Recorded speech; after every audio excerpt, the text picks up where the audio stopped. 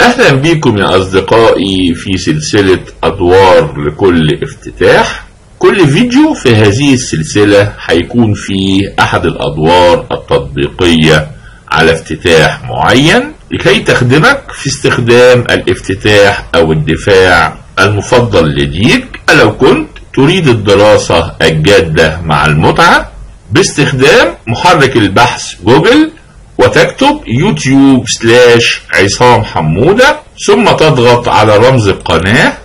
وستكون فورا داخلها. انزل لأسفل حتى تجد قسم الافتتاحيات وتختار أفكار افتتاحيات الشطرنج. ستجد فيديو أفكار افتتاحيات الشطرنج مقدمة تمهيدية. هذا الفيديو هام جدا لكي تتعرف على ما هي أفكار افتتاحيات الشطرنج بصفة عامة وبعد أن تنتهي منه يمكنك المواصلة في رؤية الفيديو. والآن هيا نرى الفيديو. وإذا أعجبك هذا الفيديو من فضلك سجل إعجابك واشترك في القناة وشارك بتعليقاتك.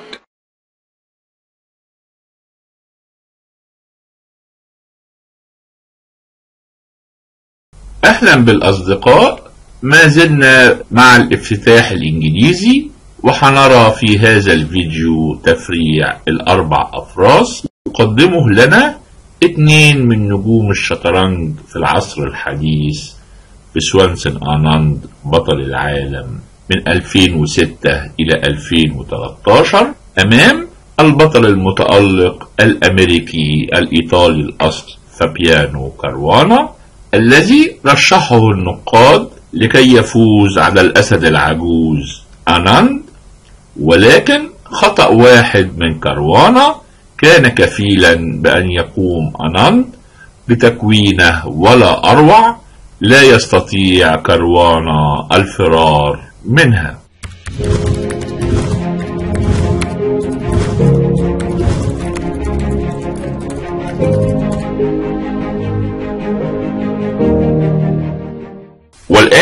هيا إلى التكوين الرائعة لأناند بالأبيض أمام فابيانو كاروانا في كاس سينكوفيلد 2017 أناند بالأبيض وبدأ C 4 الافتتاح الإنجليزي E5 knight C 3 knight F 6 knight F 3 knight C 6 وأصبحنا في تفريع الأربع أفراس في الافتتاح الإنجليزي G 3 D 5 C D 5 knight D 5 bishop G 2 بعد النقلة bishop G 2 الأبيض بيهدد بالفوز ببيدق بعد knight takes E 5 knight takes E 5 knight takes D 5 والحصان محمي بالفيل والأبيض فاز ببيدق ولذلك هنا النقلة المعتادة هي التراجع بالحصان للمربع B 6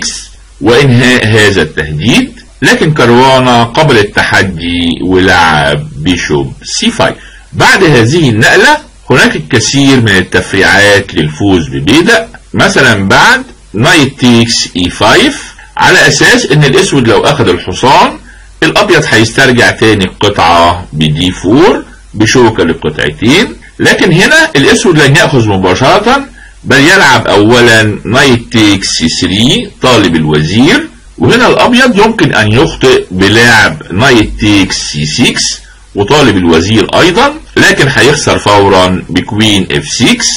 طالب المات وطالب الوزير والأسود هيفوز بينما لو أخذ بالفيل بكش هيكمل B takes C 6 وبالطبع الأبيض لا يستطيع أخذ البيدق لتهديد الوزير لأن كما رأينا الأسود لديه ال queen F 6 طالب المات وطالب الوزير والأسود بيفوز. ولذلك اولا بياخد الحصان وهنا الاسود له الرد القوي ب queen D 5 طالب الحصان وطالب الرخ ولابد للحصان أن يتراجع. وهنا الاسود بيلعب bishop H 3 وبيمنع الملك من التبييت وبيسيطر على المربعات البيضاء في جناح الملك والاسود أفضل كثيرا. اذا في الموقف ده الابيض لا يستطيع الأخذ على المربع C 6 سواء بالفيل أو بالحصان. ولذلك لابد اولا أن يأخذ الحصان وبعد knight takes E 5 بيكمل D 4 بشوكة للقطعتين bishop D 6 D E 5 bishop E 5 وبيتم فتح العمود D وبعد التكسير وبنصل لموقف الطرفين متساويين ماديا وموقفيا وبالطبع ده لا يرضي الأبيض اذا الأخذ على المربع E 5 حاليا لا يصلح واناند كمل ب castle وكذلك كاروانا هنا أيضا لا يستطيع الفوز ببيدة ال E 5 لأن الأسود هيكمل knight C 3 طالب الوزير وبعد B C 3 knight E 5 D 4 الفيل بيتراجع وبعد أخذ الحصان ربما يتم تكسير الوزيرين. ولم يخرج الابيض بأي فوز مادي والموقف متساوي. إذا محاولة الفوز ببيدة لم تسفر عن شيء ولذلك اناند كمل B 3 bishop B 6 مرة أخرى الأبيض لا يستطيع الفوز ببيدة ب knight takes E 5 لأن الأسود هيكمل كالمعتاد knight C 3 طالب الوزير وبعد knight takes C 6 طالب الوزير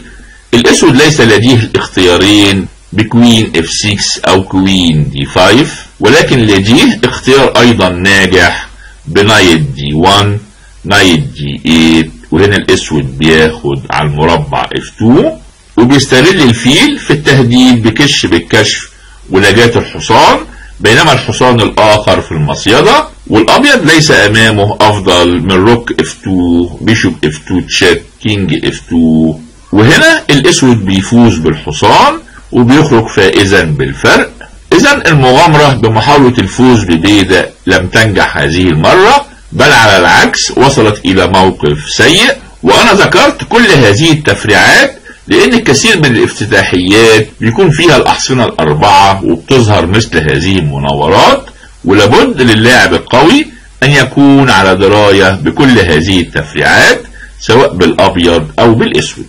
على أي حال اناند كمل bishop D 2 bishop G 4 rook C 1 knight takes C 3 الابيض يستطيع أخذ الحصان بأكثر من قطعة ولكنه فضل أن يأخذ بالفيل لأنه هيترك مربع لتراجع الحصان والمناورة في جناح الوزير. والأسود كمل rook E 8 ومن هنا بدأ أناند اللعب النشط في جناح الوزير B 4 طالب يلعب ال A 4 وال A 5 والفيل في المصيدة queen D 6 knight D 2 queen H 6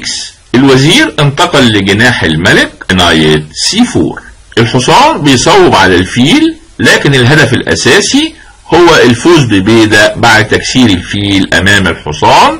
الحامي للمربع E 5 والأبيض بيفوز ببيدة. ولذلك الأسود كمل queen H 5 بيدافع عن البيدة وفي نفس الوقت مع الفيل بيهاجم بيدة ال E 2 وهنا من المفترض على اناند حماية البيدة بالنقلة rook E 1 لكن فضل إن يلعب النقلة المتوسطة rook C 2 ودي عيبها إنها بتحدد حركة الوزير الأبيض rook D 8 knight takes B 6 C takes B 6 الأبيض احتفظ بميزة زوج الأفيال وكذلك بهيكل قوي للبيادق البيضاء لكن قطع الأسود منتشرة انتشار رائع وخاصة الرخين لو قارنتهم برخي الأبيض. وفي مثل هذه المواقف لابد من اللعب بكل حرص وعناية لأن الفوز ببيدة ربما يعني الفوز بالدور. والأبيض كمل F3 طالب الفيل والفيل تراجع. ولعب queen D 2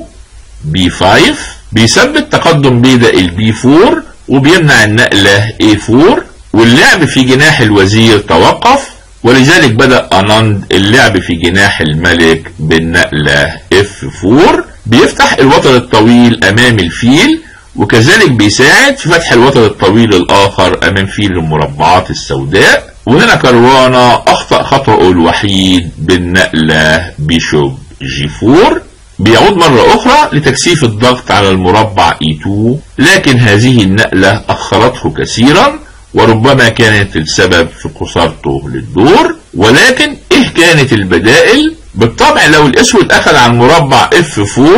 هتكون نقلة سيئة لأن الأبيض هياخد بالرخ وبيصبح الفيلين الأبيض على أوتار مفتوحة وكذلك الرخ دخل في اللعب بنشاط والأبيض أصبح له اليد العليا بينما لو حاول تدعيم البيدة ب F6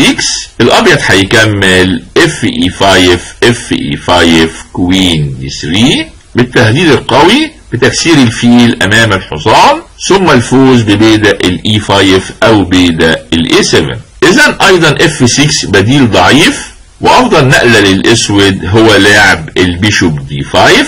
ومحاولة تكسير الفيلين وبعد e 4 بيكمل ب bishop c 4 معتمدا على إن البيدا لا يستطيع الاخذ لأنه مربوط على الوزير وأفضل تكملة للأبيض هي ال bishop f 3 طالب الوزير queen h 3 bishop e 2 f 6 وبنصل لموقف متوازن بين الطرفين. اذا دي كانت النقلة الأفضل لكن كروانا اختار bishop g 4 وهنا اناند بدأ فكرته بالفوز ببيدا ب bishop take c 6 b c 6 وبعد التخلص من الحصان أصبح البيدا محمي فقط بالرخ والأبيض كمل f e 5 فوز اناند بالبيدا ربما بيعطيه فرص كبيرة في الفوز بالدور لكن كروانا كان بيعتقد إن استرجاع البيدا أمر سهل وبالفعل لعب f 6 نقلة قوية بيهدد بيدا ال e 5 والأبيض لا يستطيع الآخذ لأنه هيفتح العمود أمام الرخ وبعد rook e 2 وبيهدد الوزير وبيهدد بالمات على المربع اتش 2 وربما الأبيض ليس لديه دفاع كافي. إذا الأبيض لا يستطيع الدفاع عن البيدة وأيضا لا يستطيع الآخذ ولكن اناند كان لديه إجابة على كل هذه الأسئلة يا ترى إيه هي؟ اناند كمل بالنقلة فوق المستحيلة e takes f 6 بيقول المراقبون بعد هذه النقلة تعالت الكلمات في القاعة والتف الجميع حول هذه الرقعة وأطلق أحدهم على هذه النقلة الغرق أو النجاة. وهذه التكوينة ليست نقلة أو نقلتين بل لابد أن تعرف السيناريو الكامل قبل أن تقدم عليها وبالفعل بعد روك اي 2 الوزير مهدد ولكن اناند يعرف طريقه جيدا وكمل f 7 check king f 8 وهنا جاءت المفاجأة التانية يا ترى إيه هي؟ اناند لعب بكل ثبات bishop takes g 7 check. مثل هذه التضحيات يجب أن تكون مدروسة جيدا فالقطع السوداء لها تهديدات خطيرة مثل هذه التضحيات لا يمكن أن تكون عشوائية أو ربما حدسية ولكن يجب أن تكون محسوبة جيدا لأن أي خطأ الأسود بيهدد إما بالمات أو أخذ الوزير ولذلك لا يمكن النجاة بعد أي خطأ حتى ولو كان ضعيف. وكمل الدور king takes g 7 وهنا اناند نجا بالوزير ب queen c 3 check. والملك لا يستطيع الابتعاد وإلا الأبيض هيرقي بكش ولذلك مضطر للتنازل عن السيطرة عن الصف السابع والتراجع بالرخ. ويبدو إن الأسود دافع جيدا ووصل إلى بر الأمان. لكن اناند كان لديه مفاجآت كثيرة في الطريق. يا ترى إيه هي المفاجأة التالية؟ أولها queen d 4 بيضع الوزير غير محمي أمام الرخ والأسود لا يستطيع الاقتراب من الوزير وإلا يرقي بوزير كش king d 6 queen f 6 checkmate. اذا الوزير محصن ضد الأخذ بل على العكس هو اللي بيهدد الرخ والأسود مجبر على لعب queen g 5 لحماية الرخ وهنا بتجي المفاجأة الثالثة ولكن الصاعقة يا ترى إيه هي؟ أناند تفوق على نفسه ولعب rook c 5 وبالطبع الرخ محصن ضد الأخذ لأنه مربوط على الملك والأسود ليس أمامه غير أخذ الوزير. وهنا اناند أنهى الدور ب f 8 queen check وكروانا سلم لأن مثلا بعد ال king g 6 queen f 7 check king h 6 وهنا هينهي الدور بروك اف 6 ولابد من التضحية بالوزير والأبيض بياخده ويفوز. والآن ما رأيكم في هذا الدور؟ أعتقد إن أفضل تعليق هو المثل المصري الدهن في العتائي وإذا أعجبك هذا الفيديو من فضلك سجل إعجابك واشترك في القناة وشارك بتعليقاتك.